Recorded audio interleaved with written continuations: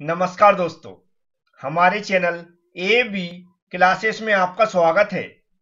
आज का सब्जेक्ट है इंजीनियरिंग ड्राइंग, जिसके अंदर आज मैं समझाने वाला हूँ free hand drawing and curve से रिलेटेड लगभग 25 ऑब्जेक्टिव क्वेश्चन यदि आप इन सभी क्वेश्चन को समझना चाहते हैं तो वीडियो पूरा देखें और वीडियो पसंद आता है तो वीडियो को लाइक करें और ऐसे फ्रेंड जिन्होंने अभी तक हमारे चैनल को सब्सक्राइब नहीं किया है तो प्लीज़ चैनल को सब्सक्राइब कर लें, बेल आइकॉन पर क्लिक कर लें, जिससे इस तरह के आने वाले वीडियो की नोटिफिकेशन आपके पास पहुँच सके।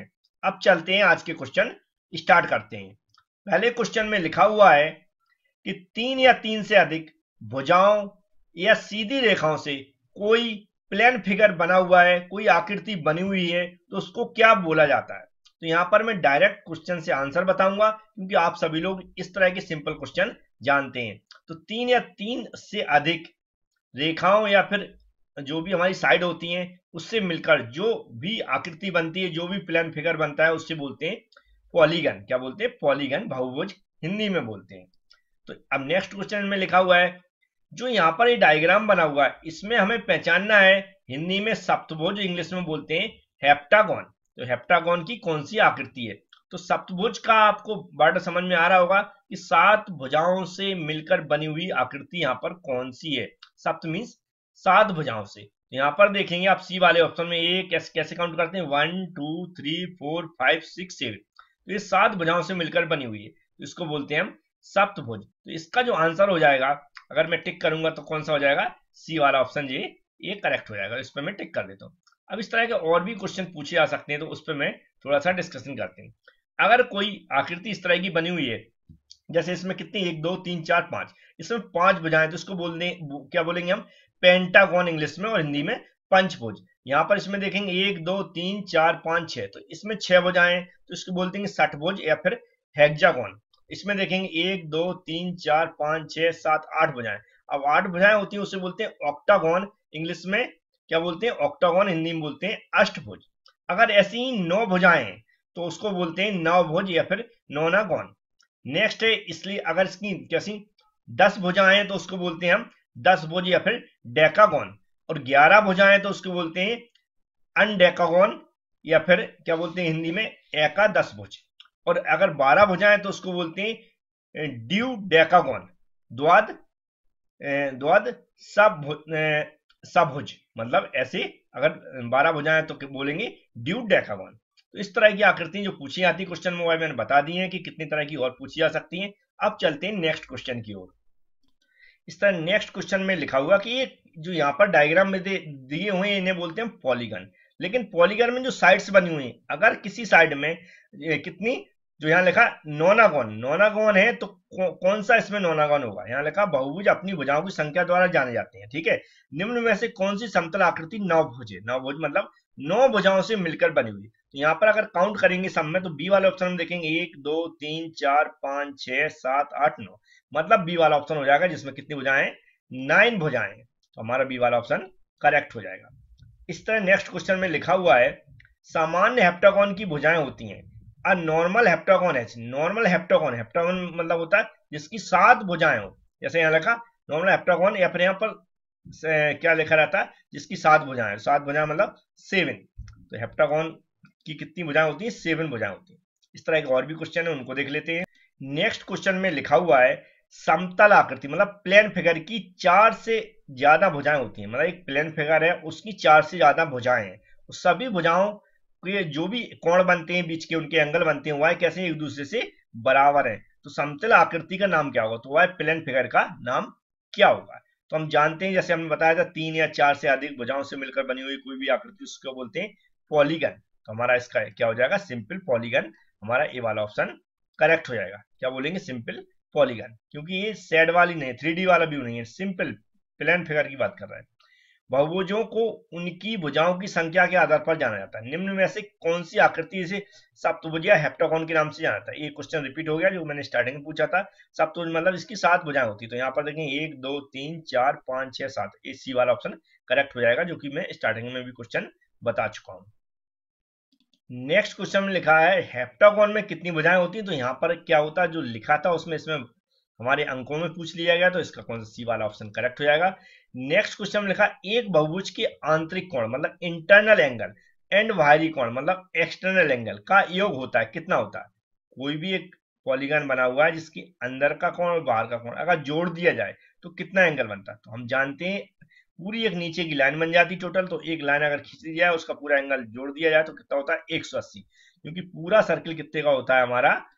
360 का तो उसका जो आधा होगा 50 डिग्री बीच में तो 180 हो जाएगा. नेक्स्ट क्वेश्चन में लिखा है अष्टभुज की प्रत्येक भुजा बराबर और जो भी उसके जो एडजस्टेंट संलग्न कोण बोलते हैं, मान होता है। Each side of an octagon is equal to the value of the adjust angle जो उसकी साइड का बराबर का एंगल होता है कितने एंगल जोड़ा जाता है? ठीक है? तो अष्टभुज की बात कर रहे हैं याद रखें, अष्टभुज मतलब ऑक्टागोन तो ऑक्टागोन की बात करें तो इसका जो एंगल होता हुआ होता है पैंतालीस डिग्री बराबर। नेक्स्ट क्वेश्चन में लिखा, जो यहाँ पर आकृति बनी हुई, इसके बारे में पूछा गया which method has been used to make the hexagon ये हेक्सागोन बना हुआ है, इसको बनाने के लिए हमें कौन सी मेथड यूज़ करनी पड़ी? तो यहाँ पर तो आर्क टाइप के लगे आपको दिख रहे होंगे इसको हमने आर्क मेथड से बनाया हुआ है। तो इसका भी कौन सा बी वाला ऑप्शन करेक्ट हो जाएगा। चलते हैं इसी तरह के और भी क्वेश्चन है, उनको भी देख लेते हैं। नेक्स्ट क्वेश्चन में लिखा हुआ है, जो दिग्वृत्त बनता है, इसे, ठीक है दिग्वृत्त मतलब जानते होंगे आप लोग, इलिप्स बोलते हैं इसके, कि दिग्रक्ष मतलब क्या होता है, जो हमारी मेजर एक्सिस से समकोण पर बनी रेखा कहलाती है। मतलब अगर हम कोई इलिप्स बना रहे हैं और उसकी जो एक वर्टेक्स होती है, वहाँ से हम एक डायरेक्ट लाइन खींचते बीच में आपने सेंटर में देखी होगी इसमें हम फोकस बनाते हैं। उस जो वर्टिकल लाइन है उसको हम क्या बोलते हैं? तो आपने सोचा होगा, क्या बोलते हैं? नहीं जानते तो आपने पढ़ा होगा, जो कर्व्स है, उसमें अच्छी तरह पढ़ा हुआ है कि वो जो सीधी लाइन होती है डायरेक्ट उसको बोलते हैं हम डायरेक्ट्रिक्स क्या बोलते हैं डायरेक्ट्रिक्स तो हमारा कौन सा?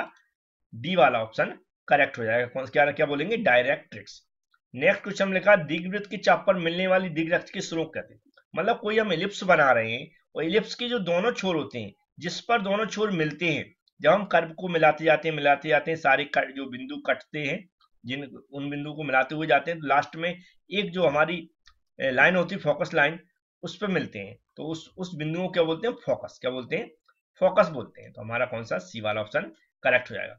इस तरह नेक्स्ट लिखा था value of eccentricity E means होता है स्मॉल ई दिखा, इसका मतलब होता है इसेंट्रिसिटी और पैराबोला के लिए इसकी वैल्यू क्या होती है? तो तीन टाइप की वैल्यू होती है। एक तो ई लेस देन वन होती है वह इलिप्स के लिए होती है।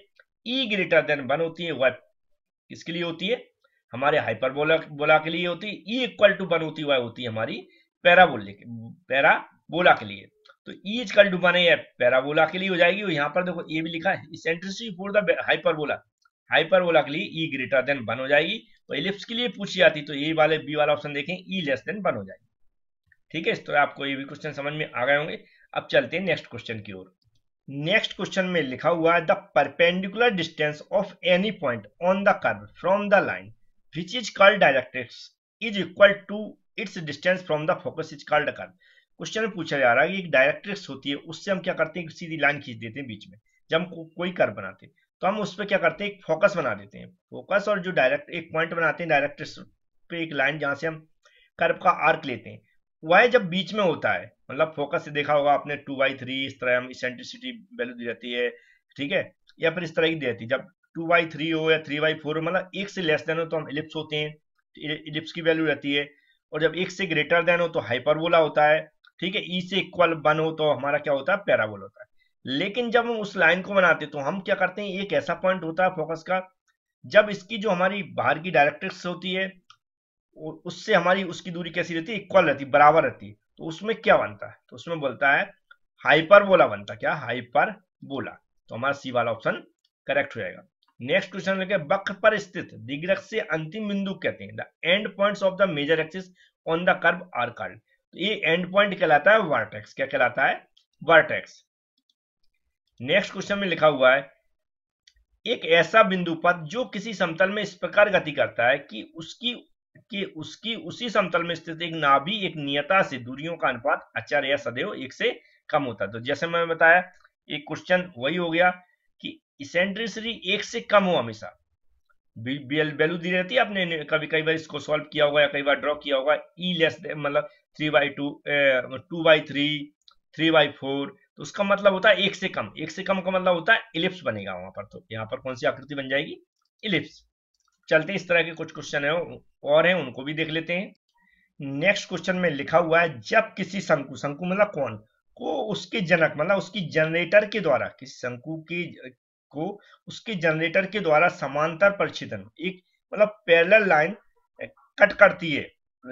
तो वह जो वहाँ से जो आकृति बनती है, वह क्या कहलाती है? यानी मतलब एक शंकु है, कौन है? उसको अगर एक लाइन के द्वारा कट किया जाता है तो वह उसकी जनरेटर किसकी? शंकु की जनरेटर कट किया जाता है। तो शंकु की देखा होगा आपने, शंकु कैसा बना जाता है? मतलब हम अगर अगर बताना चाहें तो ऐसा कुछ बना रहता है। ऐसा। ठीक है?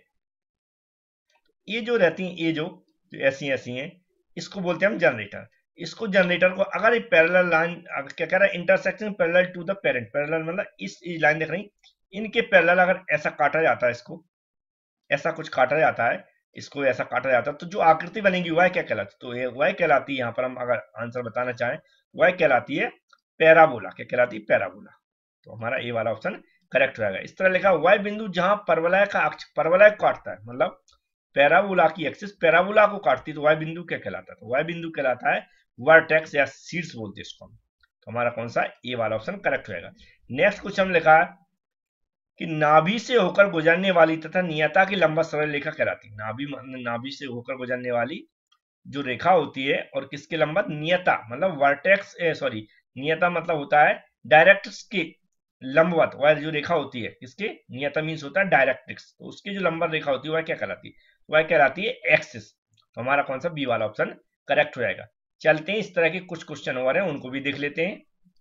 नेक्स्ट क्वेश्चन में लिखा हुआ है, अति परवला मतलब हाइपरबोला के केंद्र से, सेंटर से गुजरने वाली तथा अनंत मतलब इन्फिनेटिव तक जाने वाली रेखा कहलाती है। तो यह कहलाती है इंटरस्टिशियल मतलब अंतः स्पर्शी तो हमारा कौन सा हो जाएगा? बी वाला ऑप्शन करेक्ट हो जाएगा। क्वेश्चन में लिखा है, अति परवला वक्र मतलब पैराबोला जो कर्व है, के किसी भी बिंदु से अनुप्रस्थ अक्ष की लंबा दूरी कहलाती है। अनुप्रस्थ अक्ष का मतलब होता है ट्रांसफ़र एक्सेस की लंबत दूरी क्या कहलाती है? क्वेश्चन पूछा है। तो वह कहलाती है ऑर्डर एक्सेस क्या कहलाती है? ऑर्डर एक्सेस मतलब ये वाला ऑप्शन करेक्ट हो जाएगा। इस तरह नेक्स्ट क्वेश्चन में लिखा हुआ है a rectangular hyperbola is used in the pictorial representation जो भी हमारा आयताकार हाइपर अतिपरबला है हाइपरबोला है, उसका जो भी पिक्टोरियल रिप्रेजेंटेशन है, वह प्रयोग किया जाता है किस नियम के आधार पर? तो वह बॉयल के नियम के, या रडार एंटीना नियम या इलेक्ट्रॉनिक ट्रांसमीटर किसमें यूज़ किया जाता है? इन सभी में यूज़ किया जाता है तो हमारा कौन सा? ऑल ऑफ़ दीज वाला आंसर करेक्ट हो जाएगा। तो इस तरह की कुछ क्वेश्चन थे, हमारा पर्पज था प्रैक्टिस करवाना। यदि आपको वीडियो पसंद आए तो लाइक कर दें और अपने फ्रेंडों में शेयर भी करें। चैनल को सब्सक्राइब भी कर लें बेल आइकन पर क्लिक कर लें, जिससे कि इस तरह की नोटिफिकेशन आपके पास पहुँच सके। Thank you friends